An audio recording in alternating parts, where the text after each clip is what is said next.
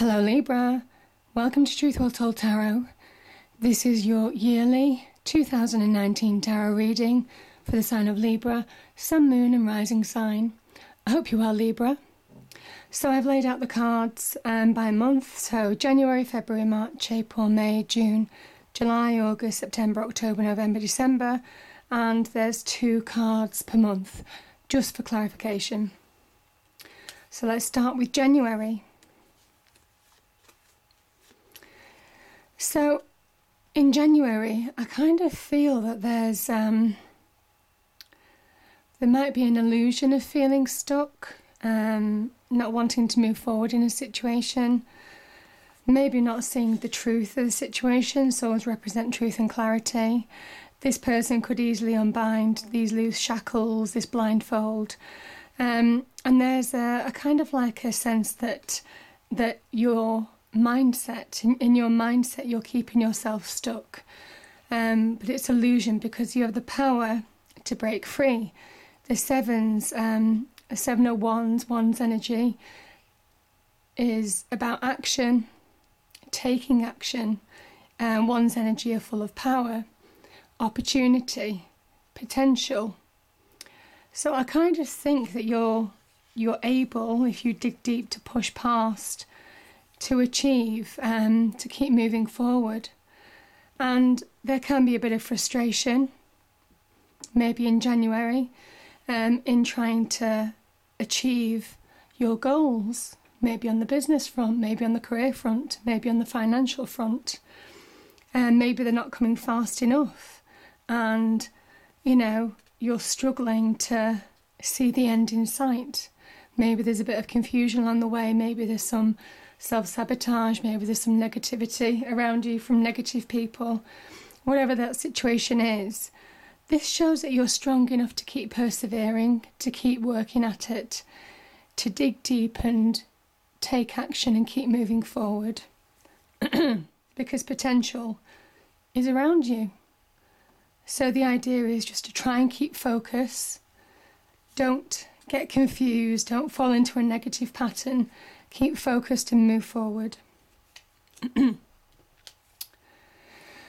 then we have Judgment and the Queen of Cups for February. So, this is interesting. So, the the judgment is about forgiving the past, letting go of the past, negativities, past baggage, you've come to a point in your life where you just need to let go of anything, anybody, any anything, any situation um, that's holding you back um, from reaching your full potential. And you get to a point where you may well have been on the wrong wrong end of karma, but now karma is turning in your favour. And you, yeah, you're asked at this point to maybe forgive yourself if you've made past mistakes. Um, forgive others if you can for their past mistakes, maybe towards you, or negative actions towards you. And this is where nothing's hidden from judgment. This is the impartiality of judgment and karma. And yeah, I, ju- I just think that there's a real awakening with this card. Um, it's an awakening to one's self to your own capabilities, to your own um, opportunities, surroundings, the potential for the future. It is a kind of rebirth, it's a karmic rebirth. Um, it's a karmic gift to push you forward, um, to start redirecting you on the right path to reach your potential in life. And the idea is that you do listen to judgment, you take notice of the lessons that you've learnt in the past, and though you understand the lessons and appreciate them, you move forward now with a new zest for life, um, a fresh new beginning, and walk away from anything negative um, from the past. So it is a real turning point, Libra.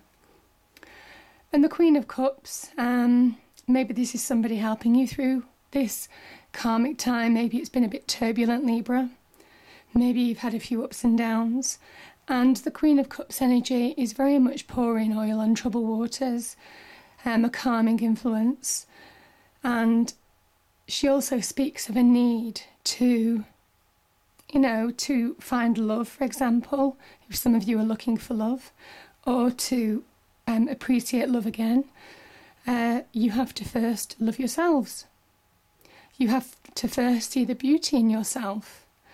You have to first find that emotional centre within yourself, because only then can you project um, that calm and stability on your external life once it's calm and um, in control of your internal life. So, yeah, it's a really powerful card, the Queen of Cups.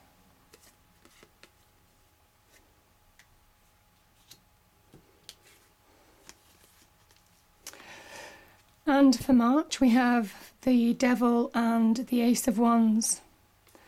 So again, I find it interesting. There's this almost like, um, yeah, I mean, in January you came up against something similar, feeling a bit out of control, um, not wanting to see truth of the situation.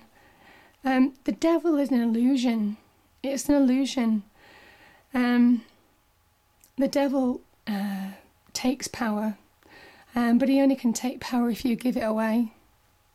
And this, this is your power. And the idea is that uh, you regain a sense of self through judgment and through the Queen of Cups. Funny enough, how these cards work. Um, and once you establish a sense of self, you take power off the devil and he doesn't and he doesn't exist anymore in your mind or in your world because the devil only exists if you let it. So it is an illusion. It can be very controlling energy. It can represent either you wanting to try and control your own life um, but it, it, you know it, it is a kind of like don't fall back into all patterns of of where you can get on the wrong side of judgment. It has to be done in the right way um, or it can be losing control, feeling out of control, and being confused. So, yeah. And the idea is that you snap out of this mindset, and certainly this kind of mindset as well, Libra, because it doesn't serve you anymore. And this is what the cards are saying. You're aware now. You're aware that these negative energies may well crop up but you've got the emotional stability, the emotional center to conquer these energies if you if you allow yourself to. So this can just be an illusion and just fade away. And when you do do that, you allow opportunity in. This is a new beginning. This is um, the Ace of Wands. This is about new potential, new opportunities, new communication. It can be about being blessed, being given to you from the universe. There may well be opportunities arising in March time. So to be aware of those and just don't fall back into any negative state of mind. Don't allow people to control, don't give your power away. Um, because this is reminding you that, you know, power is on offer to rebuild your life for the better. It also says, funny enough, like the Seven of, of Wands, to keep taking action, keep moving forward, as does it in April. So, this is about long term planning. This is where you take the opportunity, you seize the potential in March, and you start to see long term future, long term planning for the better, prosperity, success on the career front, the business front, financial front. This is where you're trying to manifest your reality, and this is a planning and strategy phase. And you see the globe here? It represents the world. This is you trying to shape your world how you want it to be, how it suits you. So you're grabbing hold of opportunity and you're using your intuition, your intuition, your heightened ability to reason, um, listen to your gut instinct to guide you. So, whatever you feel in April, it's the right thing to do.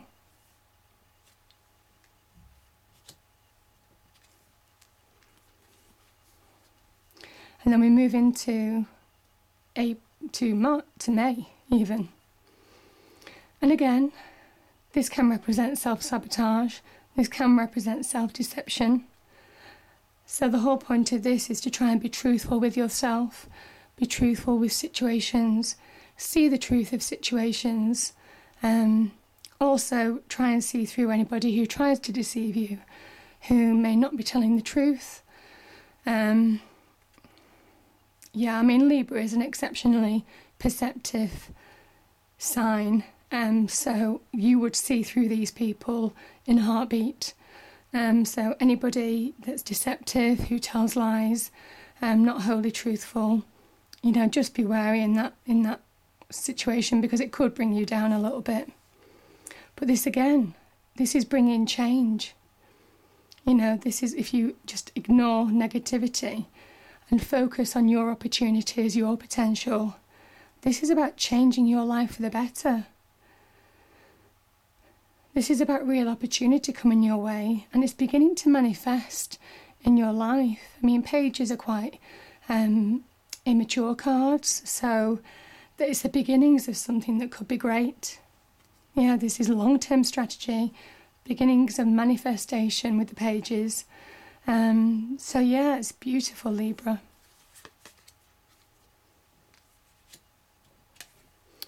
And then we go into June, and yeah, we've got the Eight of Pentacles and the Emperor. So, this is you focusing now. You're grounded. This is earth energy. You're grounded. You know where you're going. You know exactly what you need to do to manifest your reality, to manifest your goals, to manifest your visions. And this is you working hard to achieve material wealth, prosperity, um, security in the home. And the Emperor is all about achievement. He provides the structure, the foundation, um, the know how to make this successful. So, this is your knowledge, your experience, putting structures in place to, um, you know, make give this a consistency, um, yeah, progress at a consistent pace. And this is a sign of achievement. The Emperor is a sign of success as well. This is a sign of you taking control of your life. Yeah, for the better. Um, yeah, from a business point of view, um, could be career, could be a new job. Um, but yeah, this is real focus, determination, perseverance, hard work. And yeah, that's exactly what the Emperor is all about. He's very much about structure, he's very much about making it happen, making it happen in the real world. And you know, this is you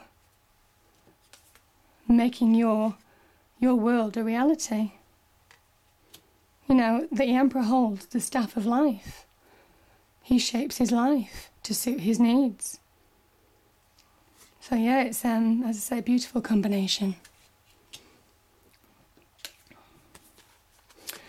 And then July, again, we have another page another seed of change, um, the beginnings of something financially rewarding. You've gone from an eight to a page, there's progress. And at this point, I mean, the page can be an immature card, so maybe this is something that you haven't got all the experience on. Maybe this is something that you're working towards and you need help on. Um, this can also be a sign of good news as well with the Page of Pentacles. Um, you know, it can be a sign of progress on the financial front, on the job front. Um, and temperance says you have to, um, it's almost like having the right blend of ingredients, maybe, to make this happen. So, knowing all the facts, having the right, um, it could be ingredients at work, having the right um, opportunity for success. Um, this is all about um, balance. So, yes, it's fine to actually go for financial opportunity, abundance, prosperity, security, um, but always do it with a balanced frame of mind. And it starts from reconciling. Um, it could be it could be differences of opinion. It could be, um, you know, this is about opposites being blended to create union. Um, so it could be um, very much about, uh, yeah, it could be re- reconciling um, different opinions within yourself. Maybe there's um, two or three different ways to go. It also is reconciling the past and um, differences in the past. It might be with other people um, to make this happen. There's some kind of like um, reconciling or balancing or tempering of um, a situation. Could be now, could be in the past, um, to propel you forward for the future. And the temperance also urges caution. You know, see the toe in the water and one foot on the land. And this kind of like talks about um, the need for just being cautious. It urges caution, um, you know, whatever this is, whatever you're going for. Um, but it also says that there's a real balance between um, it's almost like the spiritual, um, emotional journey that you've been on, and also the earthly journey that you're on as well, the earthly success. So just make sure that there's a balance between you know, your emotions, maybe how you are with other people, as well as focusing on uh, material aspects of your life as well.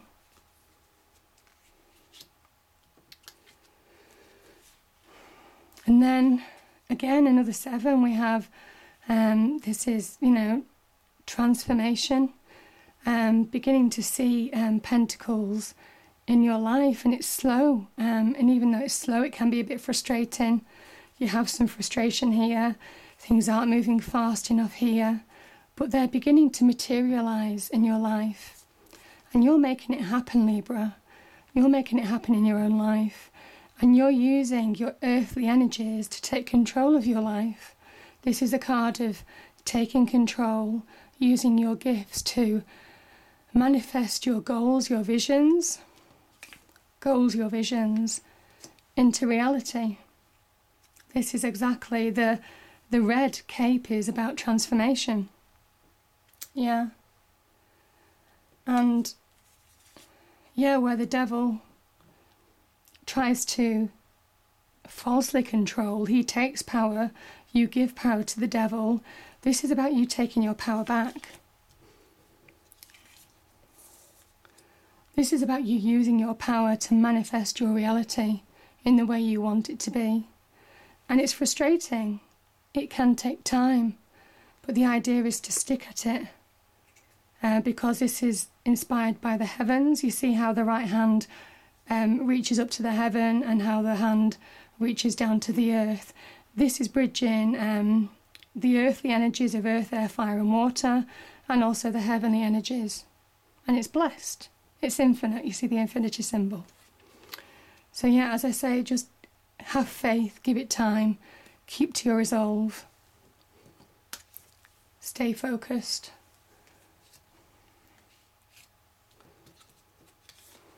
And if you do, my goodness, again, the three is about manifestation. This is about manifestation. This could be people helping you manifest your reality, manifesting your goals, your visions, beginning to see them pay off. And my goodness, you know, you go from a three here to the Queen of Pentacles, a sign of success, a sign of abundance, a sign of prosperity, a sign of achievement. And this is a real nurturing card as well. Um, it's a real nurturing card. It's it's actually providing, saying that you've got the right skills, knowledge as a foundation to allow your ideas to grow and flourish and achieve success. Sorry, the King of Pentacles, I should say. So, yeah, to grow, flourish, and become abundant. And, you know, the King of Pentacles is very much about the detail, as is this card. The detail, focusing on the detail to make it happen, which is exactly what the Magician says. You have all the capabilities now, all the earthly energies, and all the heavenly energies to manifest your reality. And it brings success. This could also be, the king could also be somebody helping you on this journey, somebody supporting, advising, and guiding you to material wealth, prosperity, happiness in the home. But it is all about the detail. And yeah, as I say, because you've got a couple of pages here, just make sure you do focus on the detail and look at the facts carefully. And then October. So, October might feel like a bit of a balancing act. You see how this man, he's juggling. He has one foot off the ground, one foot on. And the pentacles are earthly energy. So, it kind of says that you need both feet on the ground to um, manage choices, uh, balance your life again, tying in with temperance again from earlier, finding balance to achieve material gain. Um, get balance in your life. Don't forget other um, your personal life, friends, family, as well as focusing on material gain, security in the home, and what have you. So both feet need to be firmly on the ground, and it is it talks about making sure that you need to be centered. And if you do, this is the nine of Pentacles. It says you're nearly there. You're nearly at the ten you're you know you're nearly at the achieving phase and this achieving your goal. And this is um, about abundance. Um, the nines are always about kind of independence. Um, independence self-sufficiency being able to stand on your own two feet. Um, liberation in some respects. Liberation from restraints of the past maybe maybe negative restraints of the past. Yeah because the Nine of Pentacles is a really positive card. The peacock in the background symbolises um, abundance, um, prosperity. So, yeah, exactly. This is about um, happiness in the home, taking care of the family, people who mean something to you, people who are close to you, and, you know, making the right choices, finding the right balance in life, to appreciate your home life as well as focus on gaining material wealth and security as well. And then, oh my goodness, this is, I mean, these these two cards are so positive. This is you. You have a nine. You achieve the world, a major completion, a major, major completion, achievement, success, material um, wealth, um, spiritual growth, emotional growth, um, massive experience, worldly wisdom. Yeah, this this and this this kind of like this uh, cloth around this lady. It talks about spiritual growth as well as um, you know from the journey that you've been on, um, as well as physical growth, stepping into your new life. And this is really a card of abundance. Um, it can be also a card of um, birth, uh, a new baby maybe for some of you. Um, but it's also about, yeah, I mean, this is a this is purity. So this is about that these people are naked. It's generally a child that's naked on the way, the Rider Waite tarot deck, um, and it kind of talks about the. It's almost like um, a rebirth with an awakening of the soul, an awareness of the soul, um, the soul understanding its journey now, um, where you've kind of like lost, you know, you've shed your ego, you've shed things that are materialistic, if you like, or just solely materialistic, and you've become a more complete person as a result. Um, so, this is talking about renewal, um, happiness, abundance, um, there's a real purity, there's a real catharsism to the sun as well, um, letting go of the past and being positive for the future. This is where you move forward. You see the road in front of you. You know the direction that you're going. You know the direction you're going now. You're clear. You have your goal orientated. And um, as I say, this is you stepping into your new life, maybe after some pretty difficult obstacles, negativities, um, tricky situations, negative people, encountering all sorts, um, but you're actually walking through now to the other side, so you're coming through it. And the Page of Cups it can talk about love. Um, it can talk about um, new love, um, renewal of love, uh, maybe a love of yourself, maybe seizing opportunities that are not just materially gratifying but emotionally gratifying as well. So yeah, it's a beautiful card again, another another card of change, you know, following the world. Um, grabbing hold of potential now with both hands and knowing the direction which you're going in. And we end with the Nine of Wands, a perseverance, um, forward looking for your future. There's opportunity all around you. And though you might be a bit tired, I kind of think that there's an unexpected um, appreciation of what you've accomplished so far. So, even though the road has been difficult in some respects, it would have been difficult to get to this point, Libra. You know, you've achieved so much, so much. You've achieved so much potential. You see, you've taken advantage of so many opportunities, and you're ready to move forward with new passion, with a conviction, with um, real action and determination for the future. Yeah, and this is really about um, optimism, self love, um, appreciation of what you've accomplished. So, yeah, as I say, I think that's beautiful. So, Libra, I hope you enjoyed the reading. If you did, please do like, share, and subscribe. Um, I also have the weekly and monthly readings, but I hope it's a great year, 2019, and I'll see you next time. Thank you.